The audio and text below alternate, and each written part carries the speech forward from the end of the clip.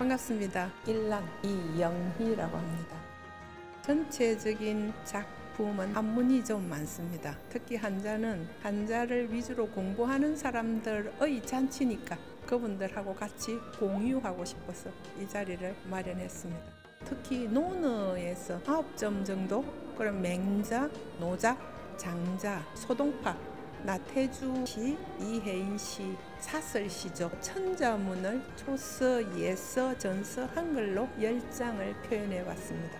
감상하기에 조금 난해한 부분도 있을 겁니다. 그렇지만 도록을 위주로 보면 한글이 다 설명되어 있으니까 감상하는 효과가 있지 않을까 그렇게 생각합니다.